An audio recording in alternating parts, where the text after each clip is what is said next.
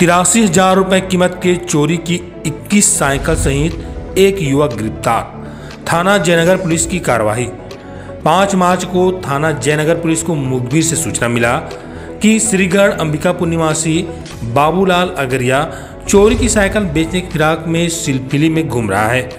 Jaynagar police ने त्वरित कार्रवाई करते हुए सिलफिली में घेराबंदी किया और बाबूलाल अगरिया को रेंजर साइकिल सहित पकड़ लिया गया।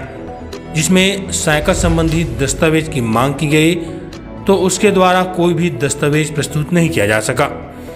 कड़ाई से पूछताछ पर उसने बताया कि करीब छह माह के भीतर अंबिकापुर बस स्टैंड, जिला अस्पताल, मेडिकल कॉलेज एवं मल्टीपर्पज स्कूल से 21 नग साइकिल चोरी किया है।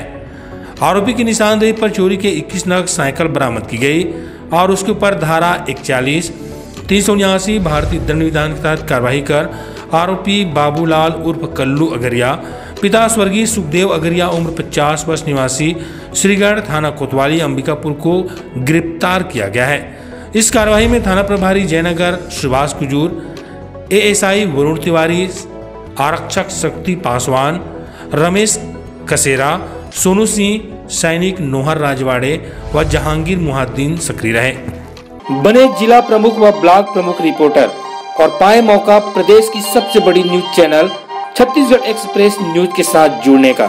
छत्तीसगढ़ की सभी खबरें देखने के लिए देखते रहिए छत्तीसगढ़ एक्सप्रेस न्यूज़। सब्सक्राइब करें और बेल आइकन दबाना ना भूलें।